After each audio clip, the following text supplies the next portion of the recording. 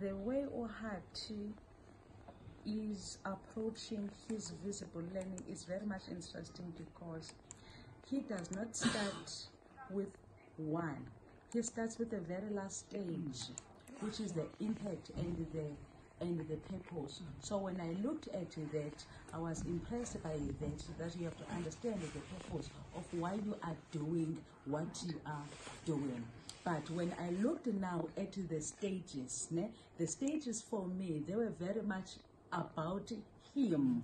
And when you go to the, I think there's a stage where he says, I, I, I, I, am a monologue, not a dialogue. Ne? But when you look at all those stages, they are, they are in opposite of what he's saying in that stage. For me, it can be an integration of taking the very last process, the very last process which is the yes, the the, the, the, the, impact, whatever. Then you go back to ASSURE because I was also impressed by.